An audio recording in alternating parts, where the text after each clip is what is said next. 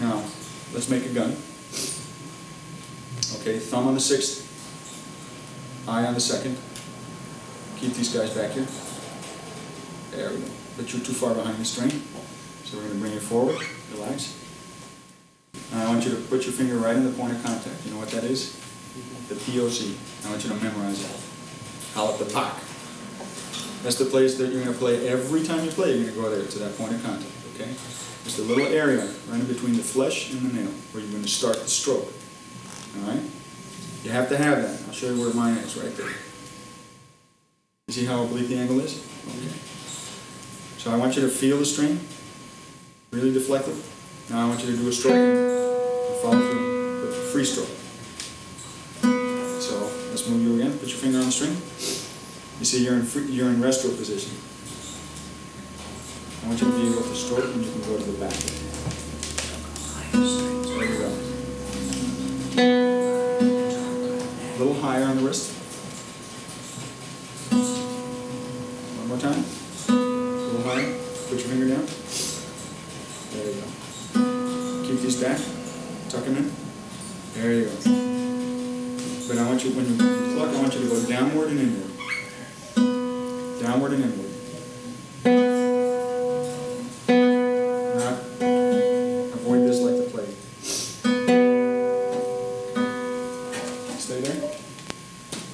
Right, you'll have everything else right.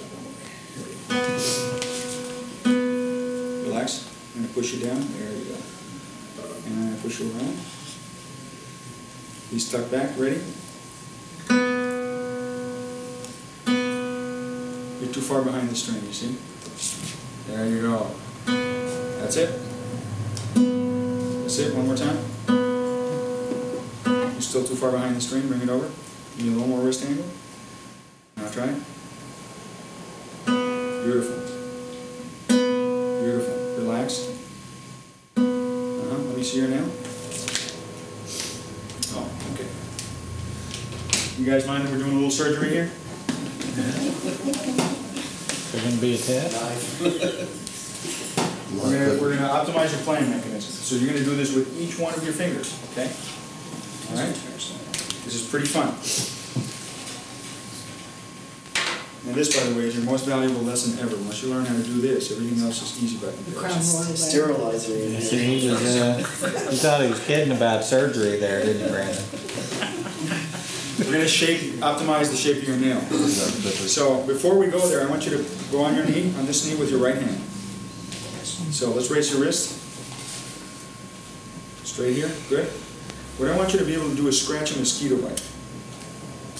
That's how you're gonna play, quite literally. So for that, you need a little, a little, there we go. Now scratch. You see how your tips get a little stiff when you engage the string? That gives you the control over your sound and the amount of projection you want in the sound. When you engage the string and then you follow through, you release that tension immediately. That's how you play. You know how you were playing before? No sound. You don't engage the string. I want you to learn how to do that. You're quite literally pushing the string downward and inward and letting it slide off the bevel of the nail. That's what makes the tone. Okay? So let's fix that nail. We're going to optimize. This bevel is too square now, so the string is getting stuck. So we're going to make a nice smooth bevel. See that?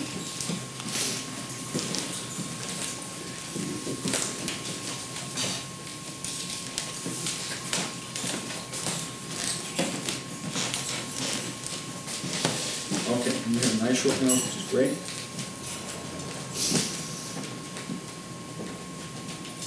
You see this, this square over here, we're gonna get rid of it and make this a very smooth ramp, you see that? See how I'm actually firing from underneath at an angle? I'm gonna duplicate that angle, because that's where you're gonna play. Okay? Don't worry, if you don't like these nails, they'll always grow back. So optimal length of the nail. Many people have different nails, so if you have a very fat pad on your finger, a very fleshy pad, your nails can be a little longer in order for them to be able to engage the string. If you- if your fingers are very skinny and they have very little pads, you're gonna have to deal with shorter nails because they'll get in the way, okay? Perfect, nice. I hope Yeah. this isn't a stupid question, Not at all. but, you know, fingerstyle people that play uh, steel guitar strings, a lot of times they play with artificial nails, is that? Well, that's a steel string. Yeah, okay, but. I mean, that changes Is that, everything. not- is that cricket and classical guitar? No, you don't wanna play with, with steel picks on your, on your fingers in classical guitar.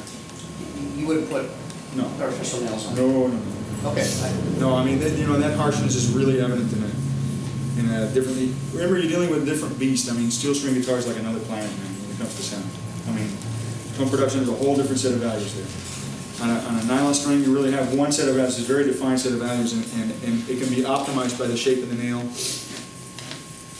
I mean, what I'm trying to achieve here with most students is, is just a basic playing guide, a point of departure. So you can wear plastic nails if you have really weak nails, that's not a problem. It's a curse though, because you have to deal with glue and, and cyanoacrylate the rest of your life, so it's better to solve that problem by developing really good, just natural nails. And then if they absolutely don't work for you, if you have some problem or a nutritional situation that you have to overcome, do it naturally, because you know, the stuff that you have to apply there does have a, a, a, an effect, you know, as, as you grow older, and, and that stuff does get absorbed by your skin. And cyanoacrylate is poison. You know, it's, it's dissolved plastic, basically. So if you're gonna put fake nails on, really think hard about why. Now, if you wanna put removable picks, they don't work very well on a classical, they really get in the way. Those things are, are really more for banjo and electrical instruments. You know, where, where the value of the sound is more determined by the pickup that you used and by the wiring and the electronics rather than your touch. That's really a, a whole different, you know, set of values.